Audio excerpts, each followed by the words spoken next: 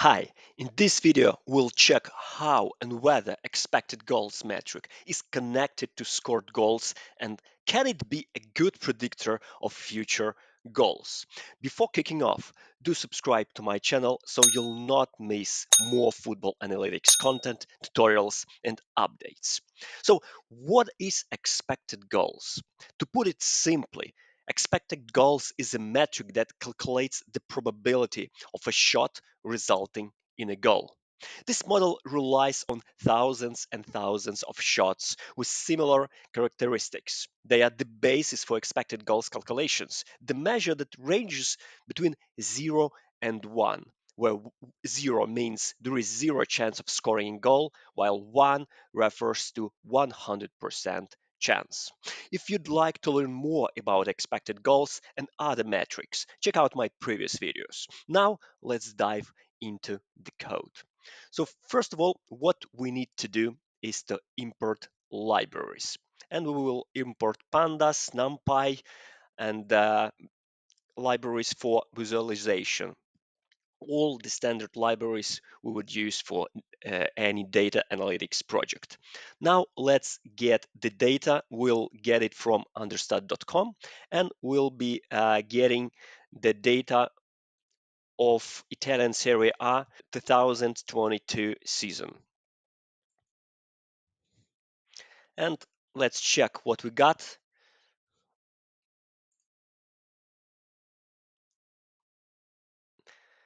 and we have this JSON file which would uh, loop through and extract expected goals and goals and also we want to get the home or away identifier.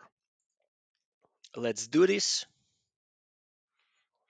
and let's check the length of the lists we got there were 20 teams in Italian championships with 38 matches each, resulting in 760 matches during the season. So let's check if we have this number and we do. Now let's merge this list into the single list and transform it into the data frame because it's much more convenient to work with data frames. Let's do this and let's check. We see that we've got uh, a data frame with three columns, expected goals, goals, and identifier home away of home or away match. Now let's divide or separate home and away matches. Let's do this. And we see uh, as an example of uh, merge list, which is not a list uh, in this case now, but a data frame uh, of home matches. now let's check some basic statistics, overall basic statistic with, statistics without dividing matches for home or away. And to do so, we can first of all divide the sum of expected goals by number of matches and then the sum of goals by the same number of matches. And if we if we do this, we see that uh, the average expected goals of Serie A uh, last season is 1.33, almost 33, and average goals is 1.28. So we see that the average expected goals is a bit above the goals, meaning that in general, teams are not realizing all the chances uh, as they supposed to uh, score in terms of expected goals metric. Now let's check the correlation between these two um, metrics between the expected goals and goals. And if we do this, we see that there is uh, 50 almost 8% correlation, uh, which is uh, there is a correlation, there, is a positive correlation, but it's not that, that significant. And uh, just a reminder, the correlation coefficient is measured on a scale from negative to positive zero. A complete correlation uh, between two variables is expressed by either positive or uh, one uh, when one variable increases as the other increases as well, the correlation is positive, uh, meaning the uh, co correlation coefficient is above zero. When one uh, variable decreases as the other increases, it is negative, meaning the correlation coefficient is below zero. Now let's divide the basic statistics and check uh, it for home and away matches separately. So let's check first of all average goals and average expect, expected goals. And we see that uh, average goals and expected goals for Serie A last season is more or less the same. If we check the correlation, we see that it is 55%, uh, not that differ uh, from the correlation of uh, overall matches. Now let's take a look at away matches. And we see that average expected goals uh, is above the average goals. Once again, just in, like in average, like in overall statistics. And if we check the correlation, we see that there is almost 60% correlation, which is above the home games and overall uh, stats of the season. Now let's visualize uh, these data. And to do so, we may plot a regression plot with expected goals and goals data. And here we are. We see that uh, the relationship is not that uh, clear. Now we may also visualize the same data for home matches as you see on your screen and for away matches as well. We see that the relationship is not that clear and uh, it's basically pretty like predictable uh, that relationship is not that uh, straightforward because uh, we mixed all the games from all the teams from uh, all the teams of Serie A across the whole season, which is kind of not that uh, reliable predictor. Now let's try and do the same uh, and apply the same logic on a club level. So first of all, let's transform our uh, JSON file, JSON uh, structure into a data frame.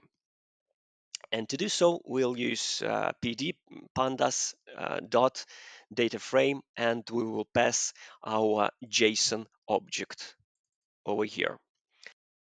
And we have this data frame. So in order to separate or filter out a specific club, we may use its ID. So in our case, we'll take uh, Juventus, which which has ID 98, and we can do this by filtering out the data by, uh, with 98 ID, and we want the data from the history row. We, later on, we want to select the specific columns, which are expected goals, goals, and home away matches identifier. Also, we would like to add a new column with the match day number. We'll need it for visualization later on. And we can also create another column with goals and expected goals difference. So let's execute this and let's have a look what we've got. Okay, so we have this data frame with home away identifier, expected goals, number of goals, match number, and goal goals and expected goals difference. Now let's check the basic stats for this specific clock for Juventus. Well, first of all, what is the average difference between expected goals, between goals and expected goals? Well, it's uh, the negative uh, minus almost uh, 0.1. And positive difference means a team scores more goals than it is supposed to score based on expected goals metric. Uh, it may be interpreted as team realizing its chances for more than 100% and the other way around.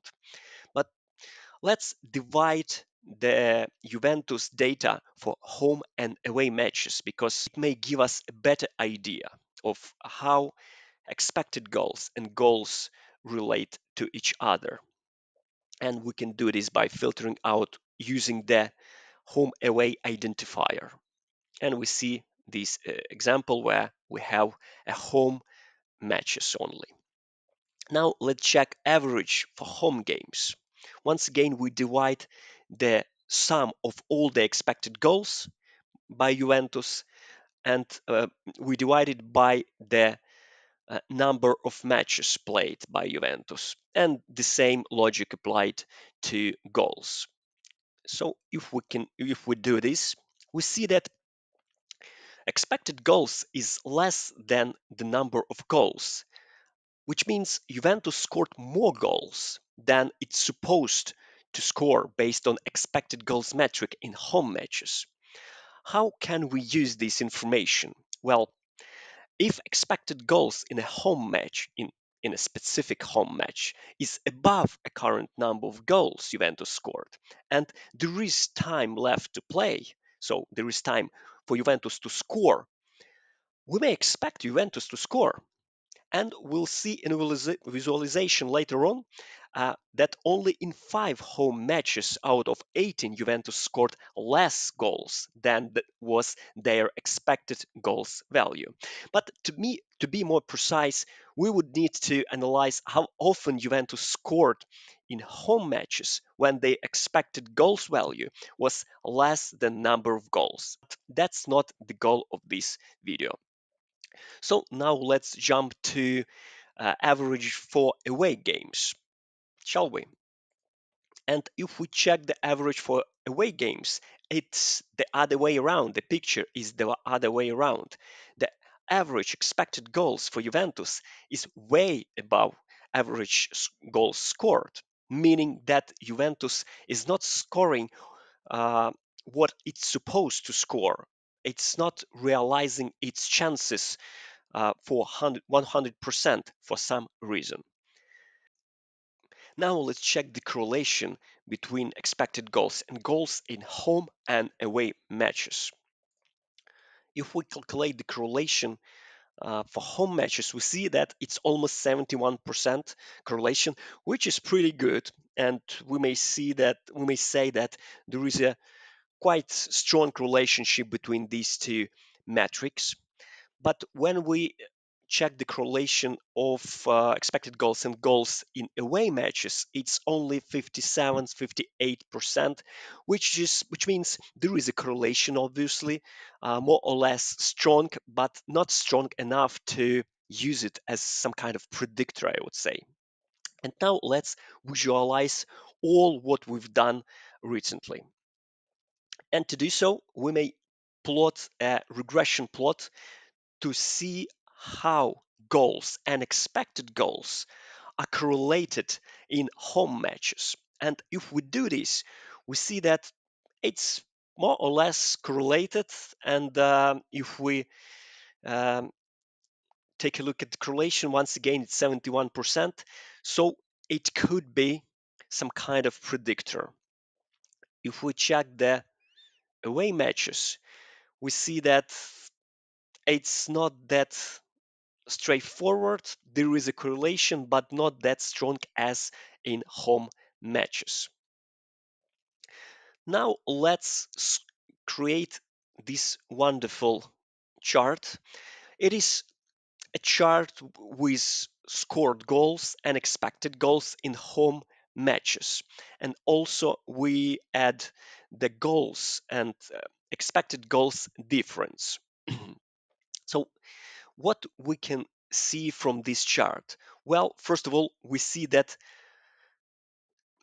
if these goals and expected goals difference is below zero, it means that Juventus scored less goals than it's supposed to score based on expected models. And the interesting fact is there are only five matches out of 18, Juventus scored less than their expected goals value, meaning the majority of the difference is above zero. Once again, meaning that Juventus realized their chances perfectly well in their home chances. Now let's take a look at the same chart but for away games. Now the situation is completely different. We see that uh, in most of the cases, the expected goals metric is above the goals, meaning that Juventus is wasn't uh, realizing their chances in away matches, and therefore the number of goals they scored is less on average than the number of expected goals. Now let's add some moving average to these charts. And to do so, we'll introduce this rolling window and will uh, which will add moving average and we will take five data points window meaning that moving average will be calculated based on five last points. And let's run this.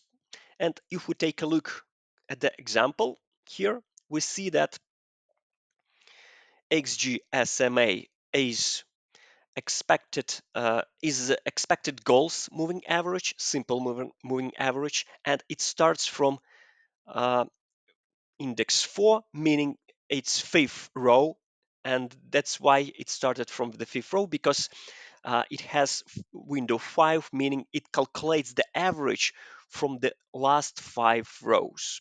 And the same is true for GSMA, which stands for Goals Simple Moving Average. Now let's visualize this. I will not go through the visualization code uh, to save time, but what we can see here when we are visualizing, we see that expected goals uh, moving average, which is red, may be a relatively good predictor of average goals with a window of 5.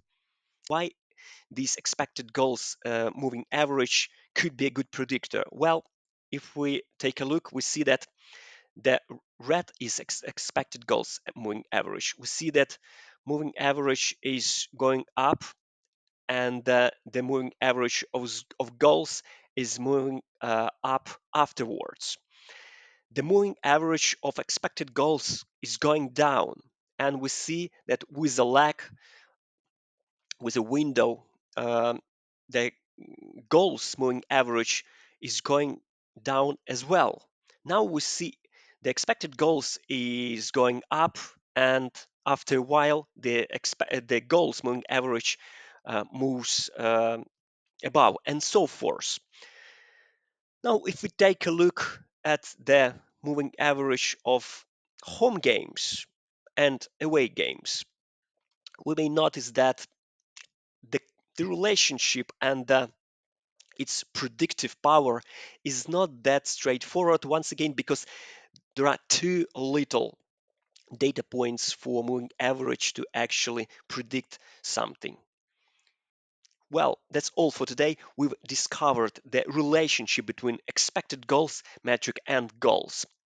If you like this video, make sure to click like and subscribe to my channel. You can show your support by buying me a coffee at buymeacoffee.com. The link is in the description to this video. Thanks for watching. Cheers!